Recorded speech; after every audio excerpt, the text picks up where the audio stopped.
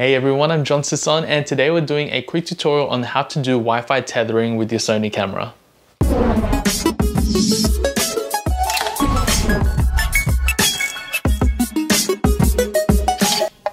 Alright, so before we get started, this feature is only available on select Sony camera models. So at the moment, there are only four that can do it. So you've got the a7R Mark IV, the a7S III, the a9 Mark II, and most recently the a7C. So if you have another Sony camera that comes out in the future or if you just want to check what features are available, there is a link that I will leave down below to let you know what features are available with that Sony camera app, which is Imaging Edge.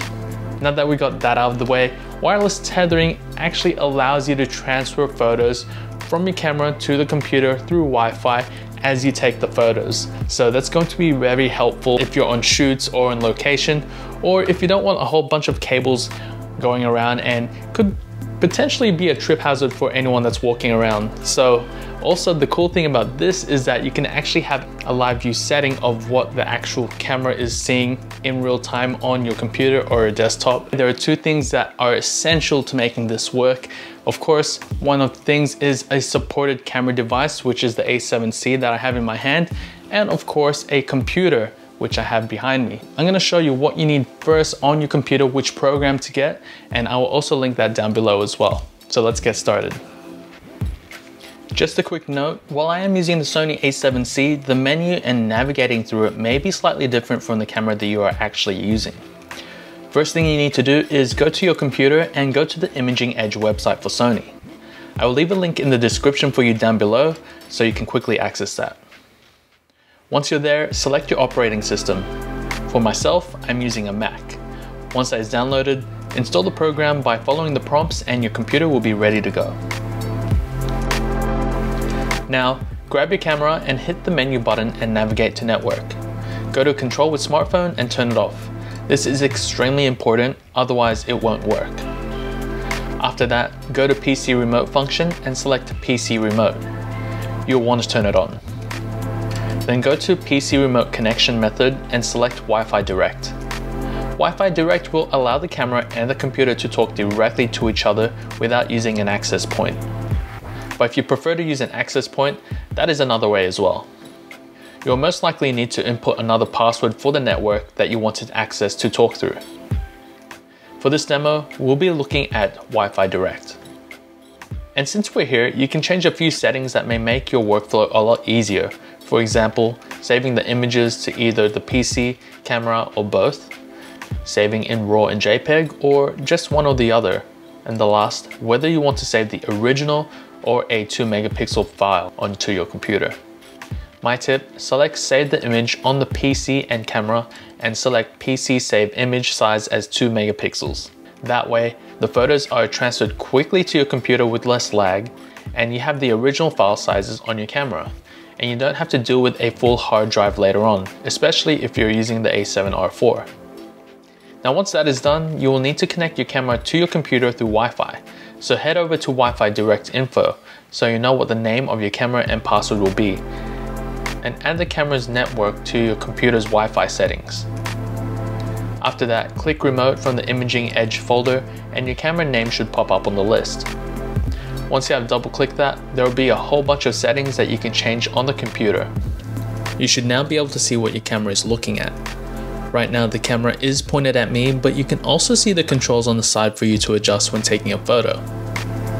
While you are using this mode, just be aware you won't be able to see the autofocusing tracking points on your computer, but rather the camera instead. So I've got my camera here, and that's turned on, and it's actually tracking me. So you can actually see that I am connected to the computer. And just to show you how quick it is, if I press the shutter button right there, it's actually pretty instantaneous. After you take a photo, it will go to viewer. And if I want to go back to remote, I just click that thing on the top to R and then I'm back shooting. So I won't go through all of this uh, right now. It is in another video, so if you want to check that out, you can take a look in the description down below or in the top right hand corner of this video and I'll have it up.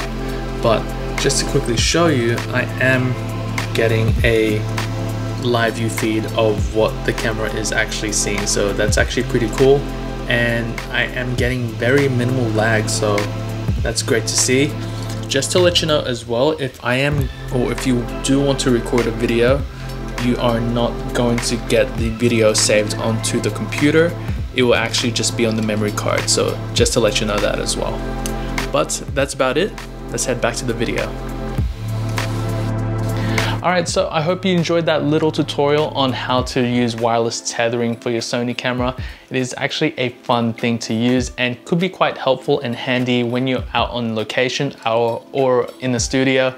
This is um, pretty cool, I will say. There is a bit of lag, but you know, if you are transferring high resolution files, like if you are using an A7R4 and transferring those massive RAW files or a JPEG, it can take a bit of time for it to actually go through the camera to your computer. But if you have something like an A7 or, or an A7C, it wouldn't take that long, but there is just a little bit of delay time transferring from the camera to the computer. And there could also be a bit of a delay when you are trying to do live view from the camera to the computer.